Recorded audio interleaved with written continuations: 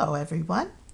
Today I'm just going to give you a little update on how my yarn bar is working for me uh, as I knit my multiple socks.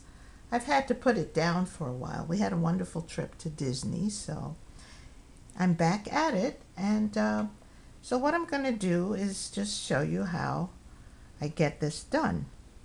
So I'm going to finish up one side of my socks. If you remember, I'm working this on three needles. The heel's on one side, one needle, and the insteps on another needle. And the third is my working needle. So I've just completed. I guess that's my heel side. And so what I do, once again, I'll lay my strand of socks on my box I turn them all up. And this, this is what puts all of the um, yarns on the correct working side for me. So we've got our socks all turned up. And right now I'm using a half of a pool noodle as my brake to hold my box steady for me. So I'll take that out and turn my yarn, my socks.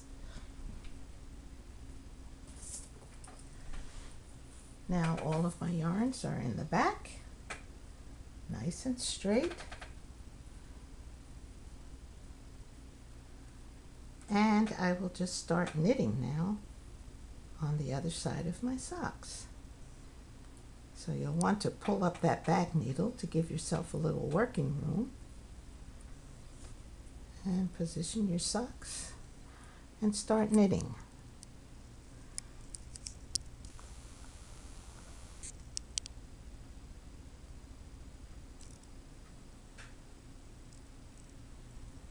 So that's my update. And I'm moving right along with it. So my spinning box working very well. So I hope you've enjoyed my short update.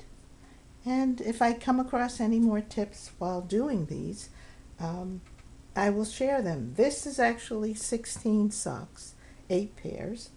So um, we'll um, speak once again once we're uh, a little further along in the process. Thank you for watching.